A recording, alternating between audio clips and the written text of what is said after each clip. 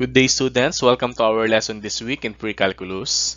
In this session, we're going to discuss sequences and series.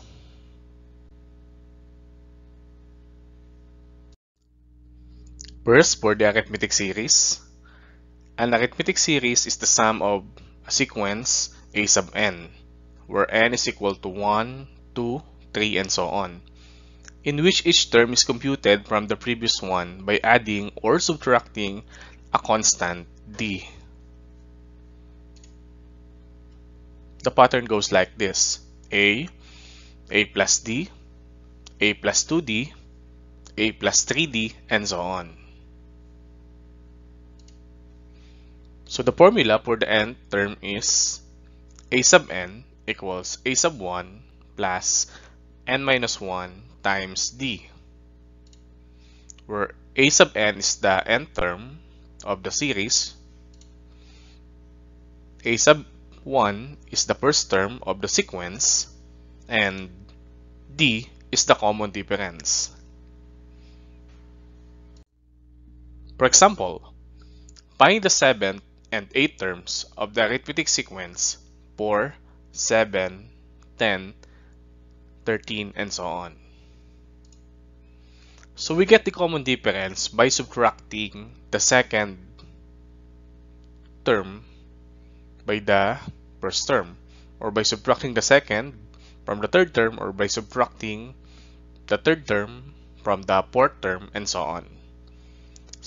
Since 7 minus 4 equals 3, 10 minus 7 equals 3, and 13 minus 10 is also 3, therefore, the common difference is 3.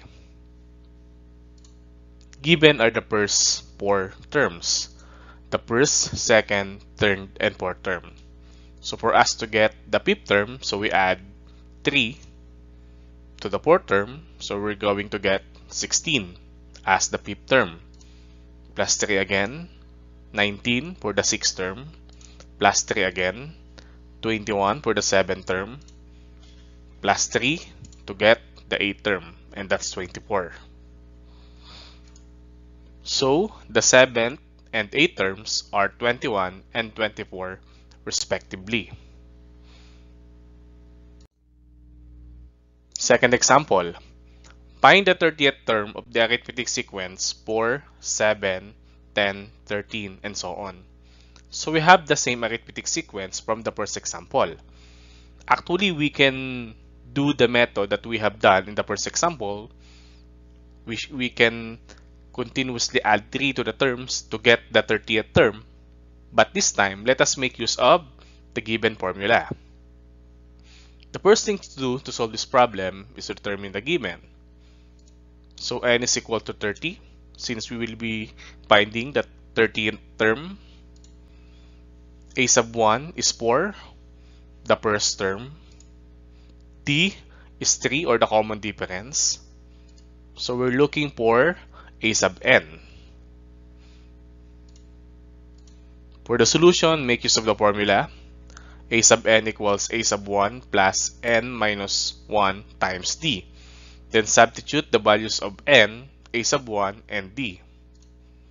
So we particularly we will be looking for the 30th term. So we will be writing a sub 30 equals 4 plus 30 minus 1 times 3.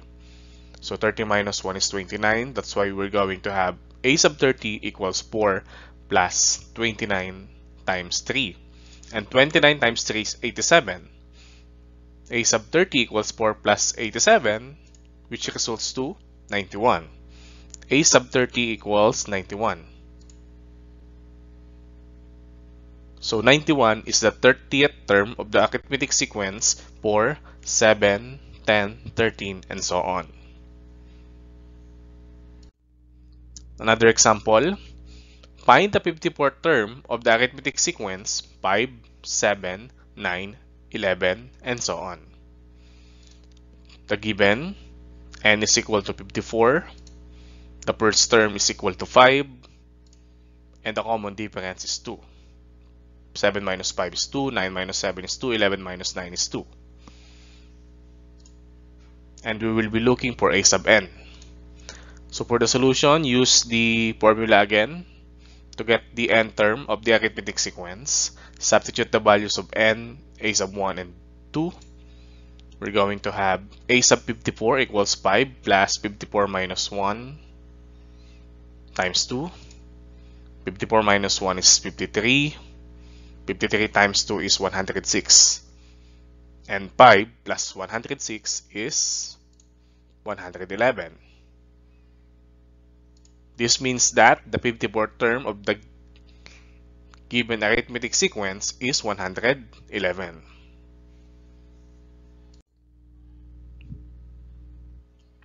Example 4. Find the 26th term of the arithmetic sequence 88, 78, 68, 58, 48, 38, 28, and so on.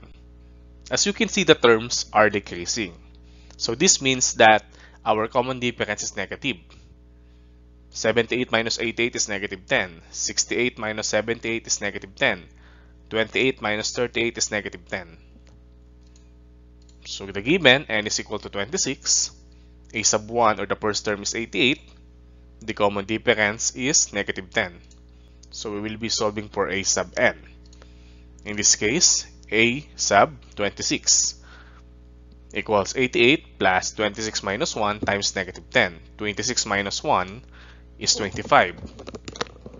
25 times negative 10 is negative 250. So now we have a sub 26 equals 88 minus 250 which is negative 162. So a sub 26 is equal to negative 162. Negative 162 is the, is the 26th term of this given arithmetic sequence. For number 5, in the arithmetic sequence 4, 7, 10, 13, and so on, which term has a value of 301? So in this problem, we will not be looking for the n term because the n term is given, which is 301. So we will be solving for n to determine which term has a value of 301. The given a sub n is equal to 301. The first term is equal to 4. The common difference is 3. So now let's us solve for n. Still, we will be using the same formula. So substitute the values of a sub n, a sub 1, and d. Now we have 301 equals 4 plus n minus 1 times 3. Distribute 3. That's why this became 301 equals 4 plus 3n minus 3. Combine the like terms. 301 equals 3n plus 4 minus 3 which is 301 equals 3n plus 1. So by symmetric property, we can interchange the terms of the equation. This will become 3n plus 1 equals 301. Transpose 1, it will be minus 1 in the right side of the equation. So this will be 3n equals 301 minus 1, which is 300. 3n equals 300. Divide both sides of the equation by 3. So you get n equals 100. This means that the 100th term of this arithmetic sequence is 301. Or 301 is the 100th term. we can determine the sum of a given arithmetic series. So for example, determine the sum of the arithmetic series which first term is equal to 4, n is equal to 100, and d is equal to 3. So the common difference is 3, the first term is 4, and there are 100 terms. So instead of listing all those 100 terms down and getting their sum, we can actually use a formula for that which is s sub n equals n over 2 times 2a sub 1 plus n minus 1 times d. So here, we substitute the values of a sub 1, n, and d. So the, the sum of the first 100 terms, s sub 100 equals 100 over 2 times 2 times 4 plus 100 minus 1 times 3. So 100 divided by 2 is 50. 2 times 4 is 8. 100 minus 1 is 99. 99 times 3 is 297. 297 plus 8 is 305. 50 times 305 is 15,250. So the sum of the first 100 terms of this arithmetic series is 15,250. Another example, determine the sum of the arithmetic series, which first term is 7, n is 50, and common difference is 4.5. So our common difference can be positive, it can also be negative, and it can also be a fraction or a decimal. So we will be using the same formula from example 6 s sub n equals n divided by 2 times 2a sub 1 plus n minus 1 times d. Substitute the values of a sub 1, n, and d. We'll have s sub 50 equals 50 over 2 times 2 times 7 plus 50 minus 1 times 4.5. 2 times 7 is 14, 50 divided by 2 is 25, 50 minus 1 is 49. So 49 times 4.5 is 220.5 plus 14 that's 234.5 times 25 that's 5862.5 so the sum of the first 50 terms of this arithmetic series is 5862.5 so I hope you get it so class the technique is that in each example, you may post the video, then you may solve the example again. So if you get the correct answer, then proceed to the next one. That's how you study asynchronously using an instructional video. So we also have the geometric series. So it's different from the arithmetic series. Geometric series is an ordered list of numbers in which each term after the first is found by multiplying the previous one by a fixed non-zero number called the common ratio, R. So the formula or the pattern is A, A times R, A times R square, A times R cube, A times R to the fourth, A times R to the fifth, and so on. So as you can see, that's the first six terms of the geometric series.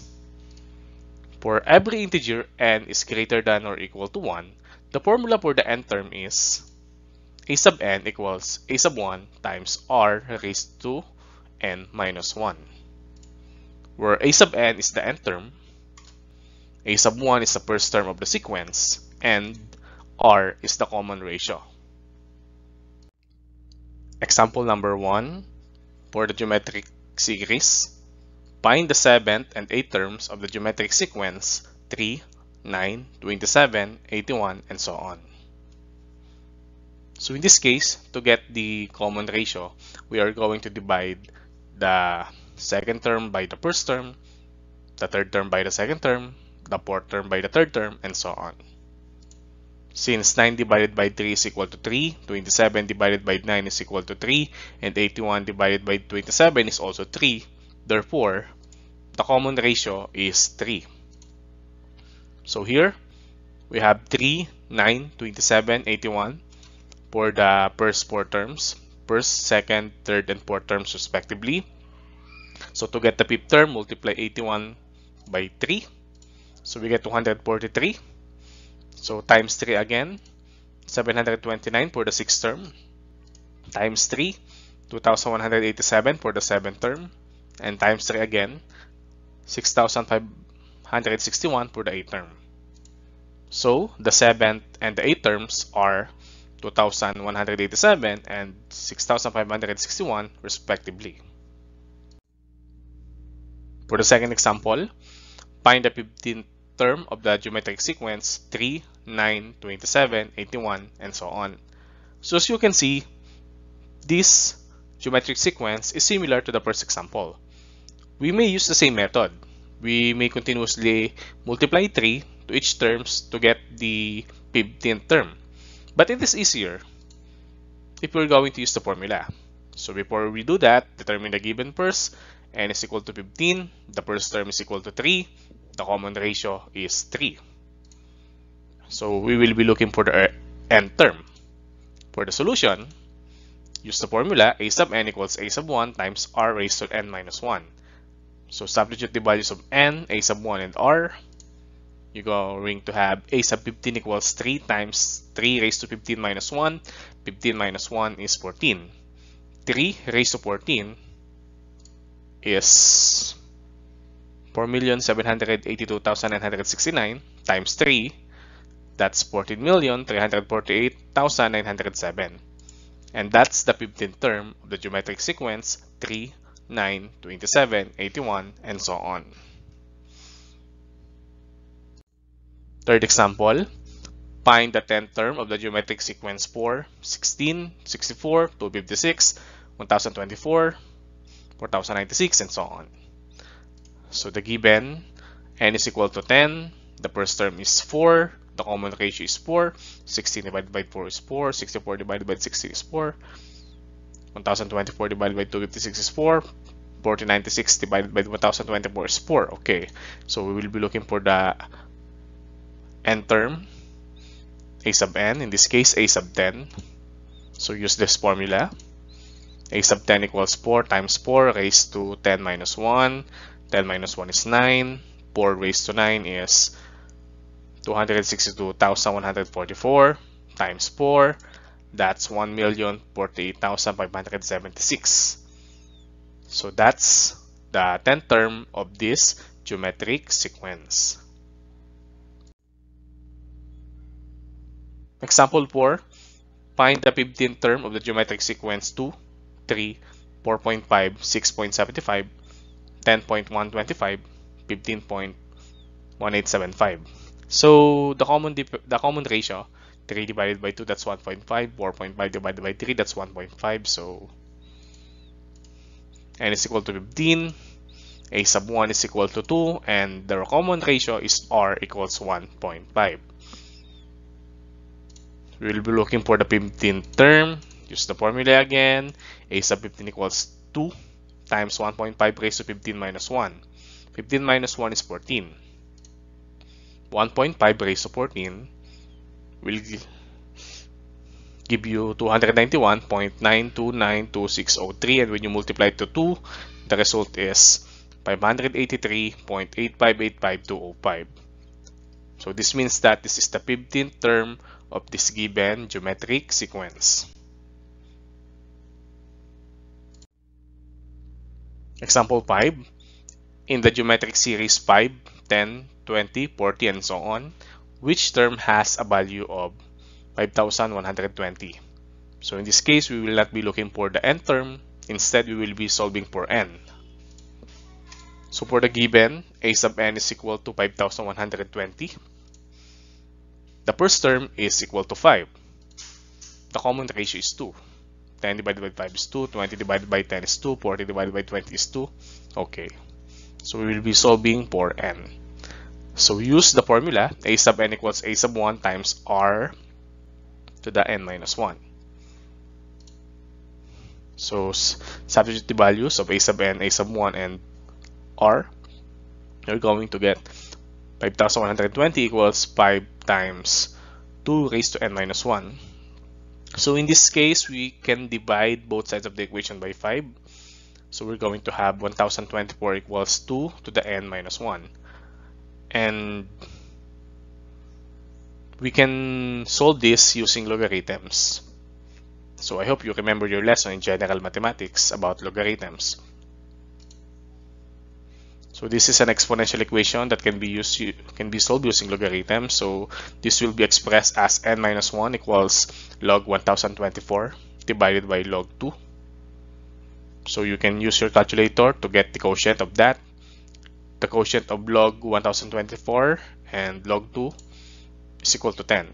So now you have n equals 1 or n minus 1 equals 10 transpose negative 1, that will be plus 1 to the other side of the equation, and then plus 1 is 11.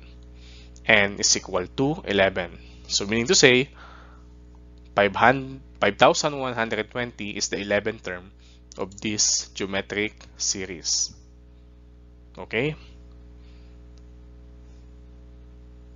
So, to solve for n, let's say you'll be solving for n, you can make use of the formula uh, n equals log a sub 1 over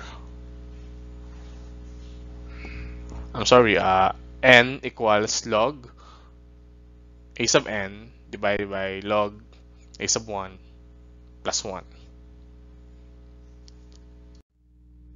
Example 7. Determine the sum of the geometric series which first term is 3, n is equal to 10, r is equal to 4. So earlier, we can solve for the sum of an arithmetic series. We can also sub for the sum of the geometric series. So meaning to say this geometric series has 10 terms and we're going to get the sum of those 10 terms. So we can make use of the formula s sub n equals a sub 1 times 1 minus r to the n all over 1 minus r. So, so, so uh, just substitute the values of a sub 1, n, and r. You're going to have this s sub 10 equals 3 times 1 minus 4 raised to 10 all over 1 minus 4. 4 raised to 10 is 1,048,576. And when you subtract it from 1, you're going to have negative 1 million 48,575. And when you multiply it to 3, you're going to get negative 3,145,725. Divided by negative 3, they are both negative, so the quotient will be positive. So S sub 10 is equal to 1,048,575. So meaning to say, this is the sum of the first 10 terms of this geometric series. Okay, so here are some practice exercises. So as you can see, the given or the items 1 to 4 is about the arithmetic series and the given or items 5 to 8 are about geometric series.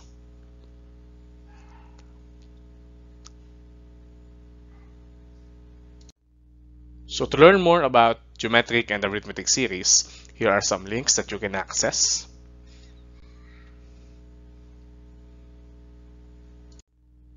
So in this session, there's a bonus topic, a bonus another type of sequence, and that's the Fibonacci sequence. So this is very, very, very famous sequence. Each number in the sequence is the sum of the two numbers that precede it. So the sequence goes 0, 1, 1, 2, 3, 5, 8, 13, 21, 34, and so on. So how how how do you get the next term? So uh, 0 plus 1 is 1 and then 1 plus 1 is 2 1 plus 2 is 3 5 plus 1 2 plus 3 is 5 5 plus 8 is 13 8 plus 13 is 21 13 plus 21 is 34 and so on. So continuing the process you're going to get the next terms of the Fibonacci sequence. So those are called Fibonacci numbers Binet's formula is an explicit formula used to find the nth term of the Fibonacci sequence. It was derived by mathematician Jacques Philippe Marie Binet, though it was already known by Abraham de, Moivre.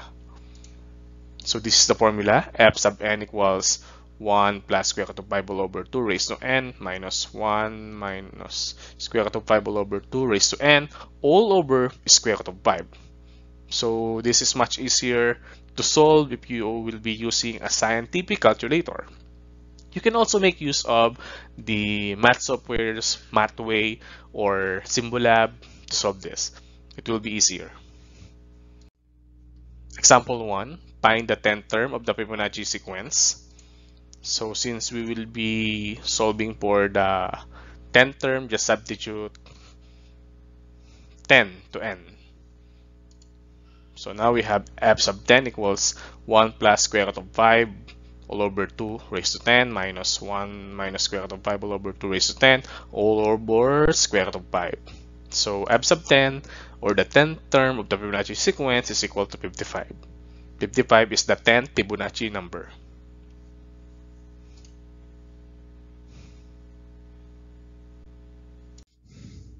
For example 2, let's have a higher n. Find the 25th term of the Fibonacci sequence or the 25th Fibonacci number. So substitute 25 to n, you're going to have f sub 25 equals 1 plus square root of 5 all over 2 raised to 25 minus 1 minus square root of 5 all over 2 raised to 25 all over square root of 5. And that's 75,025. That's the 20th term of the Fibonacci sequence or the 20th Fibonacci number. So here are some practice exercises items about the Fibonacci sequence. So just make use of the formula. Then for uh, item number 15, so get the first 10 Fibonacci numbers, then just add those. So, but if you can find the formula to get the sum of n Fibonacci numbers, that's better. So it's up to you to make a research on that. So more about the Fibonacci sequence and the golden ratio because those two are related. So you can access this link the first video is about the derivation of the Binet's formula. Then the second, third, fourth, and fifth video videos are about the Fibonacci sequence and the golden ratio. I highly I highly recommend this I highly recommend these videos to be watched by you. This will make you appreciate mathematics more. I assure you. Then the next links are, are some topics, additional um, learning resources about Fibonacci sequence or Fibonacci numbers. So class, always remember, do mathematics to learn mathematics. Practice, improve, and stay curious. Keep safe, stay healthy, and God bless everyone. See you next time for our next lesson.